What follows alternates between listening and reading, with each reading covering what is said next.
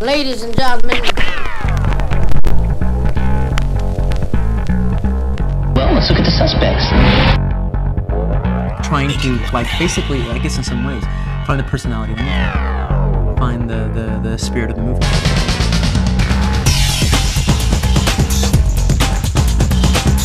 Oh, so you just want to sit here and, and wait to see who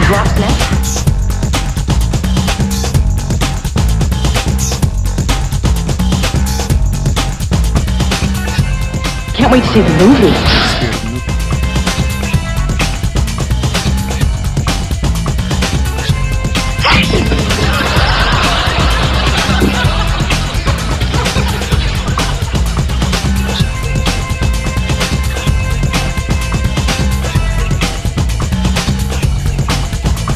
I believe that this nation should commit itself to achieving the goal before this decade is out of landing a man on the moon and returning him safely to the earth.